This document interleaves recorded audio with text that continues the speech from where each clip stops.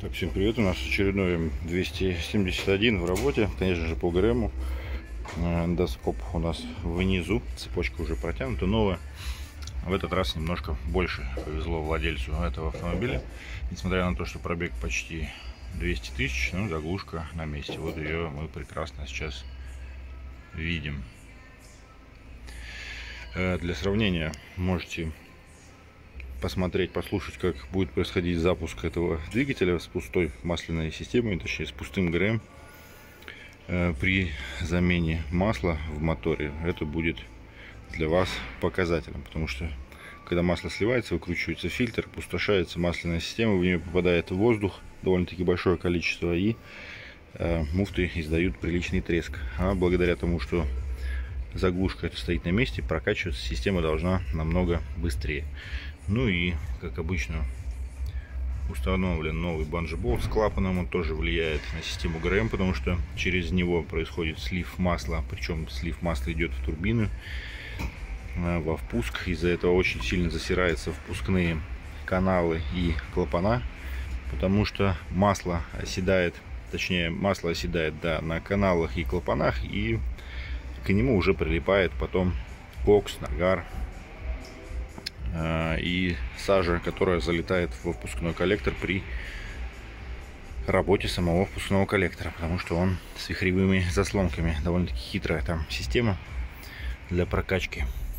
Ну и, конечно же, колечко здесь также новое. Все, собираем дальше. У нас, как обычно, бюджетный ремонт. Меняем одну муфту. Человек просил подешевле сделать. Но, несмотря на это, на все это дадим гарантию как минимум минимальную общем, гарантию, но дадим, так как масло он заливает свое. Если через 10 тысяч километров он не приезжает на замену масла, то, соответственно, гарантия уже пропадает. Собираем дальше. Ну что, у нас практически все собрано. Генератор уже на месте, ремень стоит. Два ролика новых, э, которые без канавок обводной и натяжителя. Новый термостат Вейлер. Стоял тоже Вейлер, но он заклинил, перестал работать, что очень странно. Советовал поменять антифриз. Судя вот по такой коричневой, коричневому цвету датчика температуры, там стоит не очень-то хороший. И вот такой вот слой герметика был под термостатом. Сейчас покажу из-за чего проблемы этой теперь не будет, потому что здесь стоит новая крышка передняя. И под нее я обильно накидываю смазку силиконовую, чтобы туда влага как можно позднее попала. Муфта впускная оригинальная новая, цепочка оригинальная новая. Цепочка 13, муфта в районе 40 тысяч рублей. Прокладки оригинальные новые.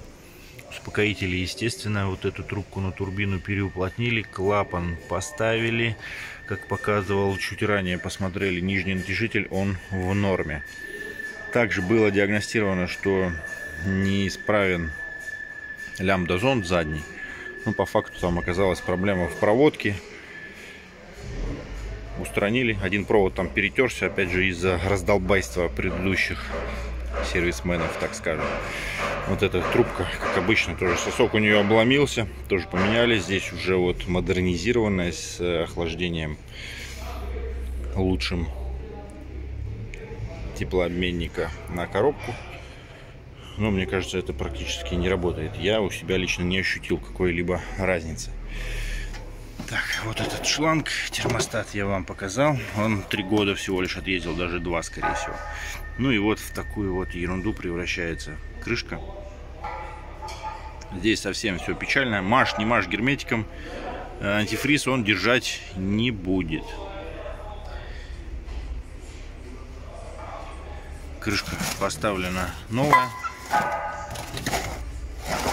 1406 это, по-моему, у нее старый номер. Да, здесь тоже 1406. Актуальные, к сожалению, сейчас в Москве отсутствуют. Отсутствуют. Крышка там в районе 10 тысяч рублей. Антифриз вот такой вот. Вот. Его поменяем. Нет, не поменяем. Хозяин сказал, нет, не надо. Клапан вентиляции тоже заклинивший. Хозяин, нет, не надо, не меняем. Так пойдет. Ну, вот и все. Запуск не за горами. Сейчас все дособираем, запустим и покажу внизу, где там перетерлась задняя лямбда. Вот два разъема больших, которые это идут на лямбду. Зеленый провод первая лямбда, черный это вторая лямбда. Ну и видно, когда проводка стоит не на месте, она со временем вот здесь вот так вот провисает, об защиту трется и благополучно перетирается. Кстати, вот и видно даже вот в этом месте об защиту здесь и терлась и перетерла. Один провод и все, подогрев отключился, лямбда была в ошибке. Сейчас теперь все нормально. Также заменили вот эту трубочку, была полностью уже оторвана. Вот она здесь стоит 3000 рублей цена вопроса. Либо меняете вот эту трубку. Да, можно там вазовскую поставить за 300 рублей. Но обычно мои клиенты готовы отдать плюс 3000 рублей и поставить что-то максимально похожее на то, что здесь было.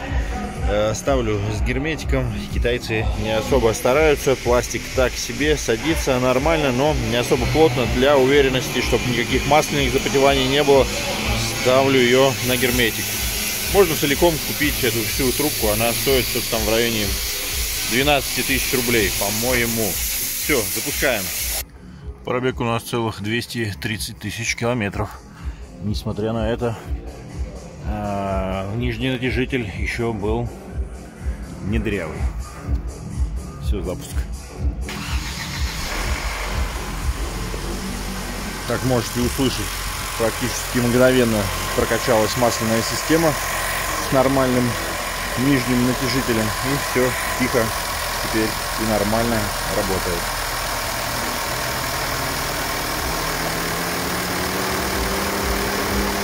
Нормально, кроме, похоже, что вентилятора системы охлаждения почему-то сразу ушел в аварию.